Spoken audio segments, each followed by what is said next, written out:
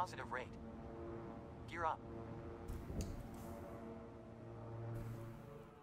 Attitudes check. Gear indicates up.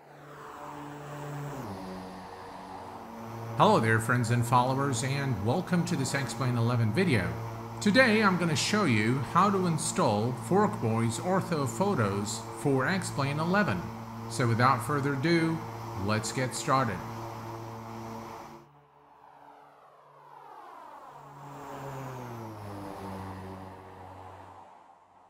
The first thing we'll do is head over to xplane.org community website and specifically to Forkboy's US Ortho Photos.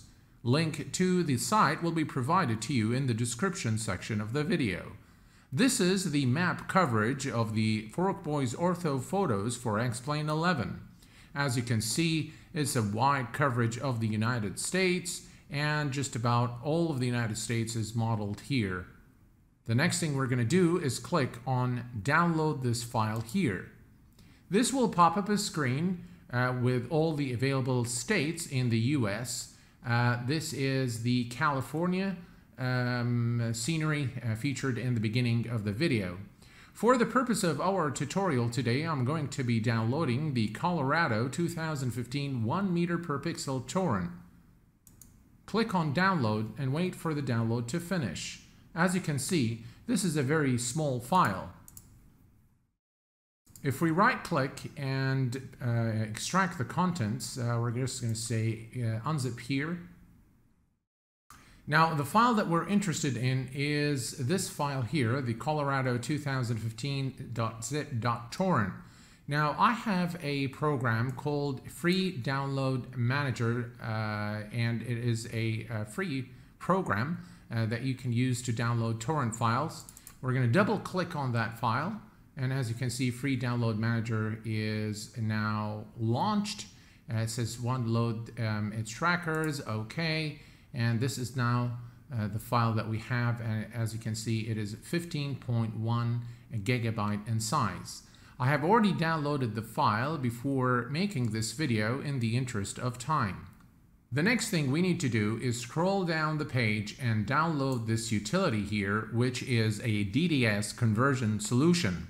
Forkboy's ortho photos come in JPEG format and they need to be converted into a DDS format in order for X-Plane to be able to read it. So we're going to click on download and download the file. The next step is to extract the contents of the zip file containing the ortho imagery. In this case, it is the Colorado 2015 underscore 1m.zip. We're going to right click, WinZip, and unzip here. We're going to wait for the uh, WinZip to do its thing and extract the contents of the uh, zip file. Unzipping the file is now complete, and we have two resulting folders. The folder containing the ortho imagery, in this case Colorado 2015 1M, and the folder containing the overlays, which is why ortho4xp underscore overlays. We'll worry about the overlays later on in the video. The Colorado 2015 folder contains all the files. The one thing that we need to note is that the textures folder contains .jpeg files, which as a format cannot be understood by X-Plane. So those files need to be converted into DDS format. For this, we have the um, DDS converter uh, here. Uh, we're going to right click WinZip and we're going to uh, extract the contents to release 210 candidate. And we're going to click here. We're going to copy all the contents in here. We're going to cut it and we're going to head to the Colorado 2015 one meter file, textures, and now we're going to paste everything here. Paste, we're going to say replace everything in the destination. Now the file that we're interested in is the, um, let's see here. We're going to scroll all the, all the way down and this is the one that we're um, interested in. Uh, so you need to look for underscore convert underscore general dot cmd or command. We're going to double click that and we're going to get this Windows screen run anyway. And now as you can see, uh, it will identify uh, very fast texture conversion, uh, multi-core CPU powered, estimated disk space needed, and now the conversion has started. Now let me warn you that this conversion will take a very long time depending on the uh, number of photos uh, available for this particular region. Uh, I recall the, um, the California uh, region took uh, about four hours to complete the conversion. So let's see how long this takes. It's about 8.20 p.m. now, and we're going to monitor how long it takes to uh, convert all the files uh, in, uh, in this particular uh, folder. Okay, I'll check back with you as soon as the conversion is complete. The DDS file conversion has now completed. It took about 1 hour and 21 minutes. As you can see, conversion is done. Conversion started at uh, 2019 and ended at 2140. Total JPEG uh, was 5,844. Total DDS created uh, 5,844. It means that the conversion was successful.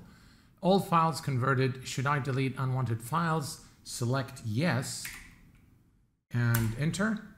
And now it's going to delete all the files that you don't need, which are uh, the JPEG files. Press any key to continue. Okay, so we are done now. We can remove uh, these files here. So right click and delete. And we're going to move all the way to the very top here and remove those files as well. As you can see now, the files are DDS files all around. So we're going to select um, those files here and we're going to delete those files. Okay, so now we have the uh, folders uh, ready to be moved to the X-Plane custom, uh, custom scenery folder. And what we're going to do is we're going to select both files. We're going to cut them. And actually, let me first check the size. Uh, as you can see, pretty large, 62.5 gigs. Uh, so yeah, so cut these files. We're going to go to custom scenery, and we're to paste them. It's going to take some time to paste, uh, depending, of course, on the uh, speed of your hard disk and your processor. Copying the files to the X-Plane 11 custom scenery folder is now complete. As you can see, we have the Colorado 2015 here, and we have the Ortho 4XP overlays right over here. The next thing we need to do is we need to start X-Plane and then quit for the scenery um, file to update. So we're going to click on X-Plane and we're just going to wait for it to load and then we're going to quit and I'll show you what you need to do in the scenery.ini file. X-Plane has now started and what we're going to do is we're going to quit X-Plane. Okay. And now what we can do is go to the scenery underscore packs.ini file. Now, when you click this file, you will see that the Colorado 2015 um, scenery entry has been placed at the top, and this is not the correct place, so we're going to cut it, and we're going to move it all the way down here. Uh, this is short final. This is my Ortho California. So I'm just going to place it above that. And we need to make sure that the overlays is above the created um, orthos. So um, right now it is, uh, it is right here and you need to make sure that it is above global airports as well. So it needs to be above global airports and above the ortho folder. Now, I originally had uh, some orthos uh, overlays in, uh, in X-Plane, and so it is already placed in the right place. Um, what you need to do is cut it. If you're doing this for the first time, this will be placed at the very top with your created ortho um, scenery. So just make sure that your uh, created orthos are below the overlays and that the overlays are above global airports. Okay, let's start X-Plane now and take a look at the results. There you have it, ladies and gentlemen. This is um, Denver International Airport in the state of Colorado. And uh, this is how you install Forkboy's ortho photos for X-Plane 11. If you have any questions, please do post them in the comment section below. Until next time, please take care of yourselves and each other and I will see you all very soon. Thanks for watching, and bye bye for now.